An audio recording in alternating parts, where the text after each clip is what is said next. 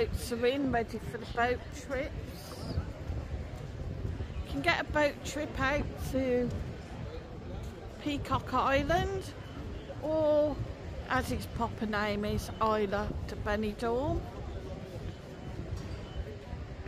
And we're looking out across to the Cala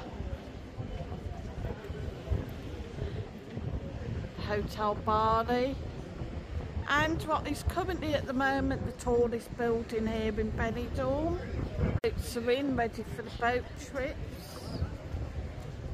You can get a boat trip out to Peacock Island or as its proper name is Isla de Benidorm. And we're looking out across to the Cala